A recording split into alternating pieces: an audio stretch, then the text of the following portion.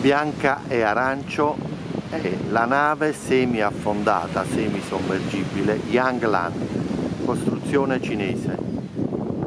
Le due torri di poppa, l'altra invece in bianco e blu è la posacavi Giulio Verne, affiancata dai rimorchiatori Vervece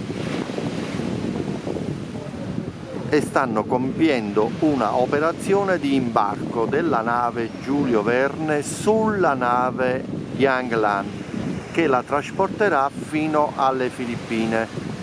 Questa è un'inquadratura dal lungomare di Castellammare di Stabia.